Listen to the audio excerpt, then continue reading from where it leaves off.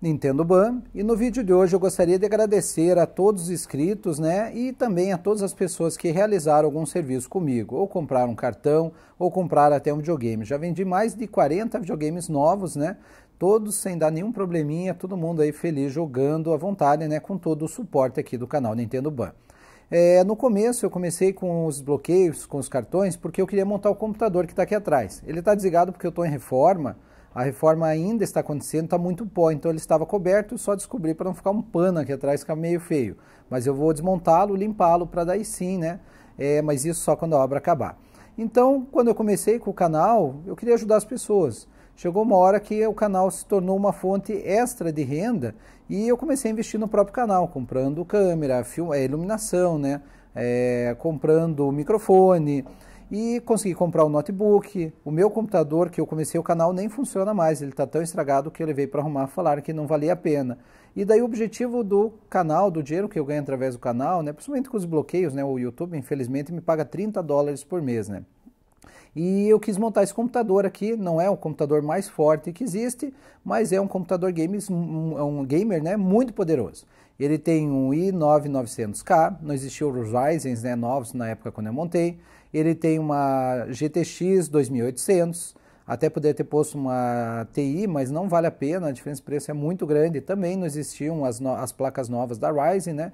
Placa-mãe boa, então um computador super bom que vai me atender por muito tempo. Não consegui jogar nada nele, nunca dá tempo, né? Mas pelo menos é, qualquer dia eu vou ter tempo, vou fazer gameplays de jogos de computador e também para atender o canal, nossa, tá, vai durar anos e anos e anos, né? Um computador muito bom e muito forte.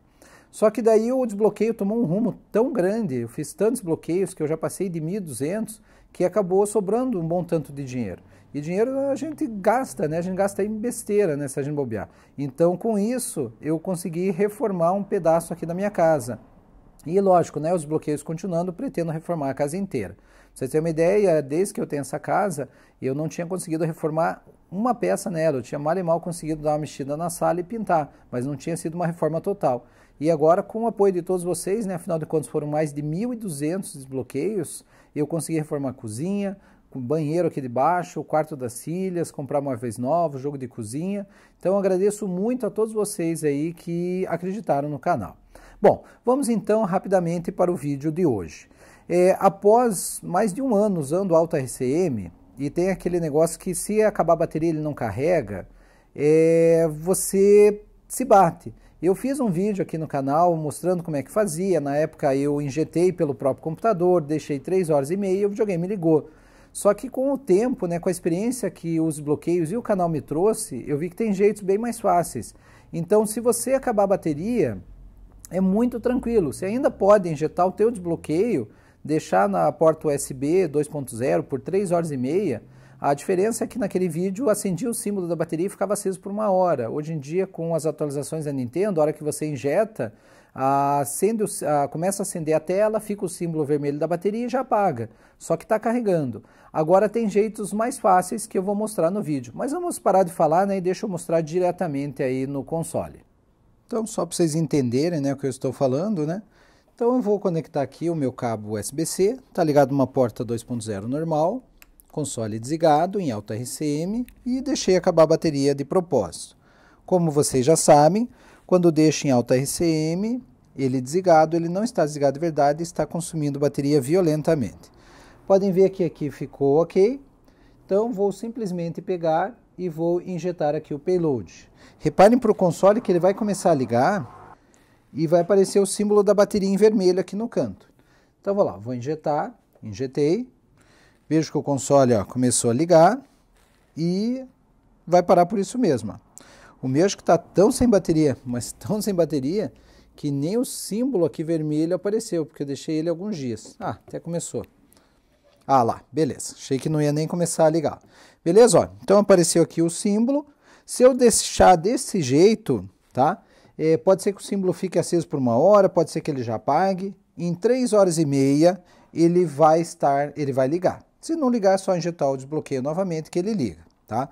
Se for uma porta 3.0, já é um pouco mais rápido, mas mesmo assim vai levar aí, acredito que pelo menos uma hora e meia. Agora vamos fazer o seguinte, ó. É... Digamos que eu quero ligar isso aqui mais rápido, não tenho paciência para ficar esperando todo esse tempo, né? Que acaba sendo, de certa forma, um certo transtorno. O que, que eu vou fazer? Eu vou pegar o meu carregador ou a dock, tá? Eu vou achar mais fácil nesse caso aqui pegar o carregador, ó. Então eu vou pegar aqui meu carregador normal, tá? Vou conectar na tomada, porque o segredo é o quê? É fazer ele ficar muito perto da onde está meu console. Então vamos repetir o processo. Console sem bateria, Vou conectar aqui o cabo. Reparem que o Tegra ainda não ficou verde, agora ficou. Por que, que ele demora para ficar verde? Porque o console está tão sem bateria que até ele dar um pouquinho de carga para que ele entre em RCM demora um pouco? Então, agora o que, que eu vou fazer? Eu vou vir aqui, vou injetar e vou trocar o cabo bem rapidamente. Ó. Digamos que eu demora. Então, eu estou demorando aqui um pouco, né? Teria que fazer isso com a tela ligada. Daí eu vim aqui e pus o cabo.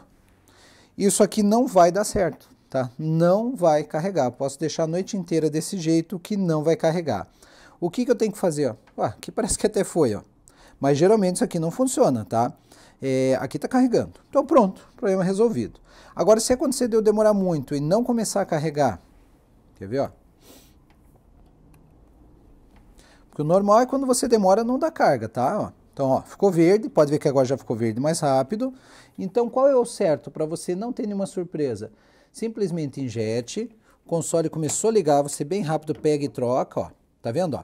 Desligou a tela, mas eu coloquei o cabo enquanto o console estava com a tela ligada. Não apareceu o símbolo da bateria. Ah, agora até apareceu. Mas não tem problema, independente se o símbolo da bateria vai aparecer ou não, ó, já sumiu, tá? Você fazendo isso, colocando o cabo ou na dock com a tela ligada ainda, pode ficar tranquilo que em 20 minutos você vai olhar, até apareceu uma mensagem aqui que já foi injetado, tá? Deixa eu dar um cancelar.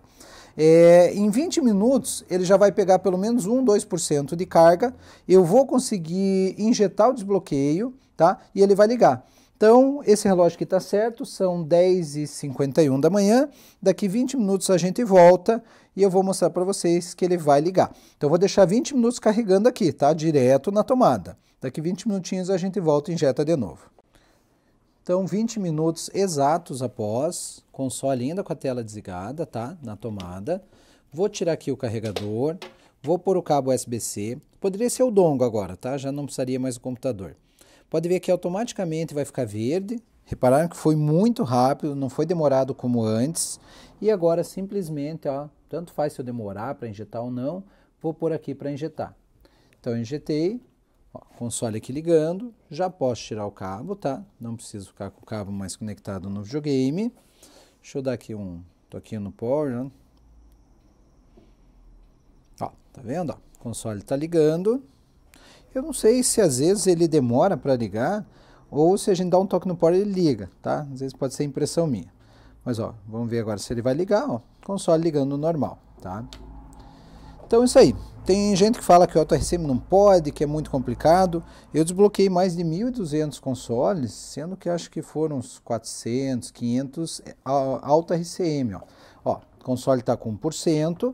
Vou pôr na tomada, né? Porque se eu não pôr na tomada, daqui a pouco ele desliga para se proteger. Ó, desligou para se proteger, não tem problema, tá? Ele não vai ligar. Ah, até ligou. Se ele desligar para se proteger, ele tem 1% de bateria. Você vai pôr na tomada, quando ele chegar em 20%, ele liga automático, tá? Eu já peguei o esquema aqui do console. Ele não liga sozinho enquanto ele não chegar em 20%.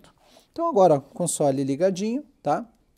Então, como eu estava falando, ó, console ligado, né? Lógico, vale a pena você deixar com a tela desligada, né, para carregar mais rápido, mas pronto. 20 minutinhos usando essa técnica de injetar e trocar o cabo pela tomada ou dock rapidamente, deixando 20 minutos carregando é o suficiente. Talvez dê para deixar até menos, 15, 10, só que eu não cheguei a testar. Então, o AutoRCM, ele tem suas vantagens, né? Já falei isso em outros vídeos. Ele é bom, tá? Esse esquema de se acabar a bateria não pode deixar acabar é lenda, isso é bobagem. Dá um pouquinho de trabalho? Dá. Principalmente se você não souber disso, você pode levar um baita susto. Mas como vocês viram, né, ó, nada demais. A única coisa é que antes de começar a carregá-lo, ó, 2% já. Antes de começar a carregá-lo, eu tenho que injetar o payload, tem que ser pelo computador. Lógico, uma pessoa que não tem computador que usa o dongle, ou tem um Mac, né, que não injeta, daí pode se tornar um transtorno. Mas para quem tem um Windows que consegue ligar o desbloqueio, tá aí, como vocês viram, né? é mais um mito, né, que o AutoRCM é um lixo, não presta tal. Ele funciona muito bem, tem casos que ele não precisa, tem casos que ele é super indicado, mas saibam que ele é seguro, já uso aí há mais de um ano, não só no meu console, como no console de vários clientes, e ninguém nunca teve problema por isso. Tá joia? Então espero que tenham gostado do vídeo, um abração a todos e até o próximo.